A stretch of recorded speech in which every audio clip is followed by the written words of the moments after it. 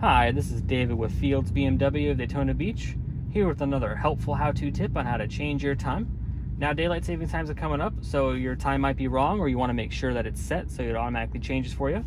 I am in a 2018 BMW i3. This has iDrive 4. So in iDrive 4, you're going to want to go down to the settings at the very bottom. Go to time and date,